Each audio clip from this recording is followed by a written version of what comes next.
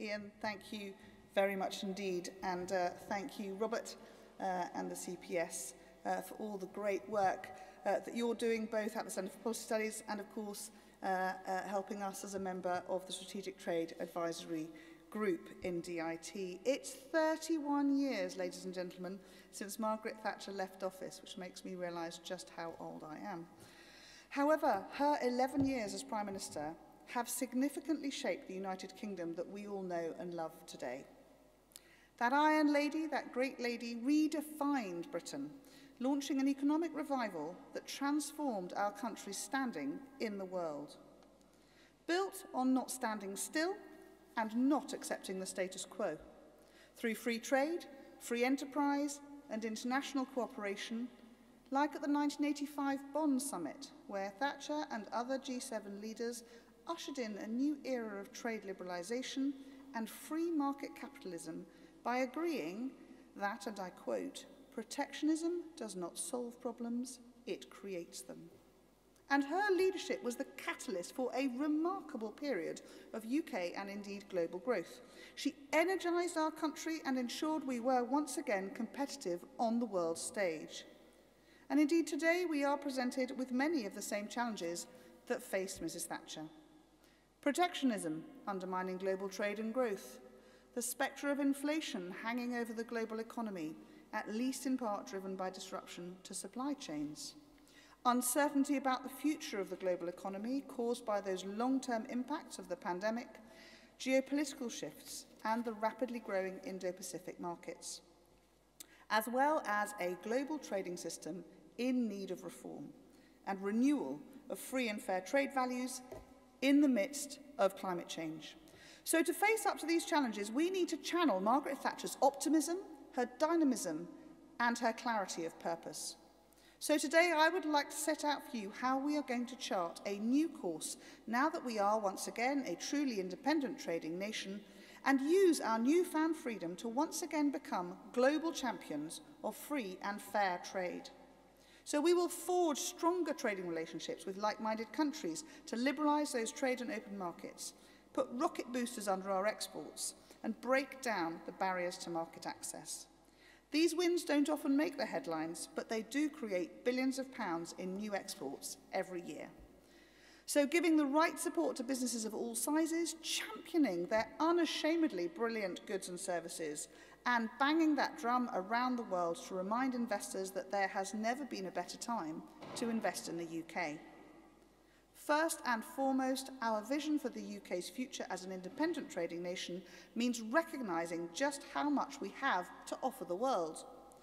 As the previous Ministry, Minister for Energy responsible for delivering the net zero strategy, uh, I am passionate and indeed deeply embedded in the detail about how our domestic economy can become genuinely clean and green. Our army of green innovators are now also set to deliver as much as £170 billion pounds of export sales by 2030, with each one accelerating the global green transition. Lady Thatcher set us on this course by putting the threats from climate change on the political map, both at home and around the world. And the UK has just hosted COP26, where critical decisions were agreed for the world to get ahead of climate threats and UK leadership out in front must and will continue. And it is in the spirit of Thatcher's words back in 1989 that those countries who industrialised must contribute more to help those who are not. That our entrepreneurs today export their pioneering green goods and services around the world. From Alexander Dennis, who are exporting electric buses, to Crip Protect, who export their innovative products to 52 different markets around the globe. The UK today is also, of course, a services and digital technology superpower. We are the world's second largest services exporter and the fifth biggest exporter of digital tech services. As well, of course, as the world-leading financial services hub here in the City of London, up and down the country, we are home to global titans of professional services and creative industries. Meanwhile, our superb shipbuilding, maritime equipment, technology and manufacturing sectors underpin our trade in everything from cars to cyber and pharmaceuticals to professional services. Our task is to capitalise on these amazing strengths setting the frameworks for great British business to thrive from Washington, D.C. to Wellington. This in turn will create jobs, opportunities and prosperity across every part of our United Kingdom, whilst championing the causes of free markets, free enterprise and free trade. And we do this for a reason. Free trade is the engine that drives growth and prosperity, raising the quality of life for all our citizens by providing consumers with lower prices and greater choice. That is why we are determined that Global Britain, the home of Adam Smith and David Ricardo, remains an unapologetic champion of free trade and enterprise, unleashing Britain's potential to power our economic recovery, making our businesses more dynamic and levelling up our country as we build back better from COVID-19 and opposing calls for isolationism and protectionism, not by making ourselves strategically dependent on fair weather friends, but by standing tall with like-minded partners to champion free and fair trade for all, working to strengthen and reform the WTO and make global trading rules fit for the 21st century rules that promote our high standards and allow our businesses to compete fairly in the global market. And using our influence and shaping international trade to reflect our core values, including freedom, fairness, sovereignty, the rule of law, and environmentalism across the world. And ensuring that we do not yield to those who argue that we should put barriers up meaning that British firms would lose contracts overseas, higher prices in the shops, and depriving developing countries of vital growth. To trade freely, we must also trade fairly.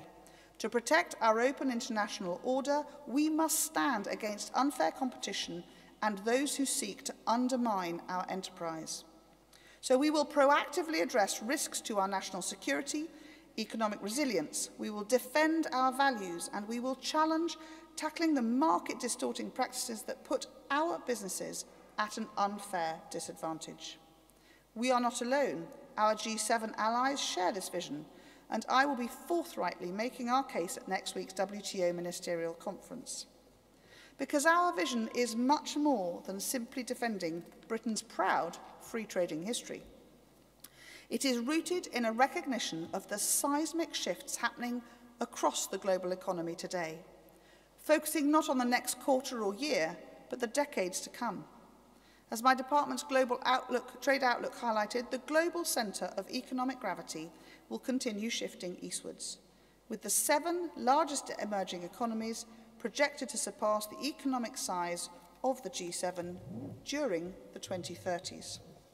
And between 2019 and 2050, more than half of global growth is expected to come from the Indo-Pacific. Within that, South Asia will grow particularly quickly, and India is projected to be the world's third largest economy by 2050. India is, of course, one of our most significant export markets, and I look forward to launching our trade talks soon with them. And the global economy is also becoming more services orientated as rising incomes in emerging markets shift those spending patterns. There could be almost 2 billion more middle-class consumers on the planet by 2050. and around three quarters of these increases will be in the Indo-Pacific region. And these are trends we therefore cannot afford to ignore. So a long-term vision for trade means adapting to this changing reality and reaching out to seize opportunities in the emerging high-value markets where demand for our world-class goods and services is high. This means focusing our efforts on those parts of the world that can supercharge UK trade in the industries of the future like digital, services and tech. Not retrenching and retreating into protectionism, but reaching out to trade with the world's fastest growing markets, whilst ensuring that Britain's status as a global exporter centre for foreign investment and champion of international trade remains firm. So far, we have agreed trade deals with 70 countries, plus the EU, trade worth a whopping £766 billion every year. And so now we are working flat out to forge ambitious deals with like-minded and strategic partners around the world that will put the UK at the centre of a network of modern free trade agreements spanning the Americas and the Pacific. We are in negotiations to exceed the Trans-Pacific Partnership, one of the world's largest free trade areas composed of 11 Pacific nations with dynamic economies from Chile to Malaysia, Vietnam to Peru, boasting a combined GDP of more than 8 trillion pounds in 2020. And we have launched our consultation with a view to commencing negotiations with the Gulf Cooperation Council states in the months ahead. All these deals will create countless new opportunities for our exporters and deliver better choice and value for consumers. Supporting UK business is central for me, so wherever in the world they arise, we will tackle the market access barriers that our businesses face, enabling them to trade and invest more freely. Closer to home, if we are to truly embrace the new opportunities we are creating, we must empower our brilliant entrepreneurs to look forwards, outwards and to the future, as we did last week, uh, hosting the inaugural Inter International Trade Week, which was supporting and encouraging businesses to export and sell to the world, and showcasing the long-term support that is available to help them to do so. Leveraging our trade show programme to bring that support to every corner of the UK, therefore making it easier for businesses to trade by investing in tools like the single trade window, a one-stop shop for all data from traders into government, and putting a new emphasis on spreading support across the UK through our world-leading export credit agency, UK Export Finance. And last week, we launched our ambitious and refreshed export strategy – As a key feature of this, the Export Support Service will extend its reach with hubs across all four nations of the UK to assist businesses trading with the EU and around the world. Our strategy is driven by the mission to reach exports of a trillion pounds in goods and services per year by 2030. This is indeed an ambitious goal, but I do believe that by working closely with businesses and providing the support that they need, we can achieve it. We must also maintain trust in free and fair trade. And we will do this by equipping our businesses with the tools they need to tackle unfair and pernicious trading practices. The Independent Trade Remedies Authority was established to allow businesses to seek redress against dumping, subsidisation and unfair surges of imports, and this will provide stability and predictability for exporters and investors alike. Our vision for the future also means maximising foreign direct investment, just as Margaret Thatcher did. Now, as then, it generates so much prosperity in the UK and deepens our links with allies across the world, leading to higher wages, stimulating business efficiency and boosting productivity. Exactly what we need to lead the global recovery.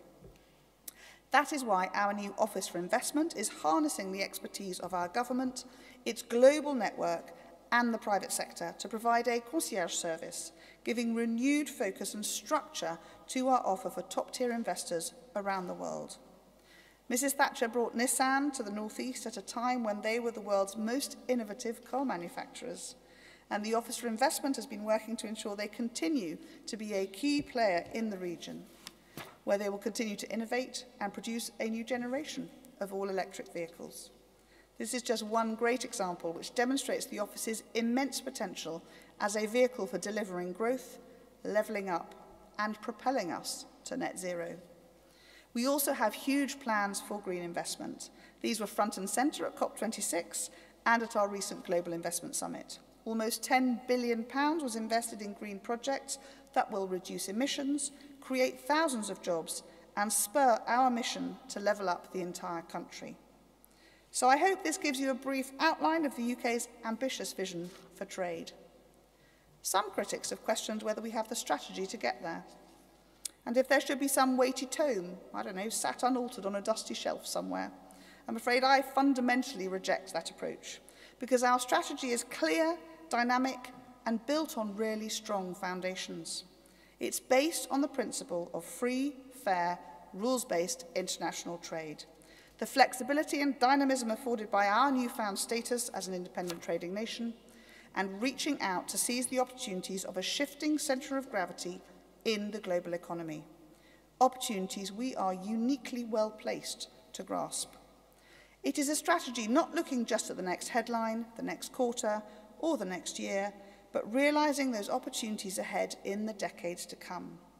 It will make exporting easier for businesses, drive it with investment, and bring prosperity to every region and nation of our country.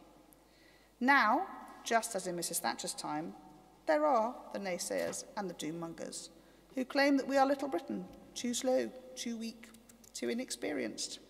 But, and with the greatest respect to Matt Lucas, we are not Little Britain, and we never were. We are Global Britain. For the first time in almost 50 years, we are no longer waiting on the EU's computer says no bureaucracy, where trade talks drag on and on. We are an independent trading nation able to reach out on our own, securing great deals and empowering businesses to seize those opportunities of the future and create high-paying, highly skilled jobs. And to forge an open, enterprising economy which enables us to build back better from the pandemic, levelling up the whole of the UK. With the energy, the innovation and the engagement of businesses, communities and this ambitious strategy, we will unleash our nation's brilliant potential and write a new chapter in our proud trading history. Proudly championing all that is made in the UK, sold to the world, I hope that Margaret Thatcher, who put global Britain on the map, would be proud of our vision and our action plan to keep it there. Thank you.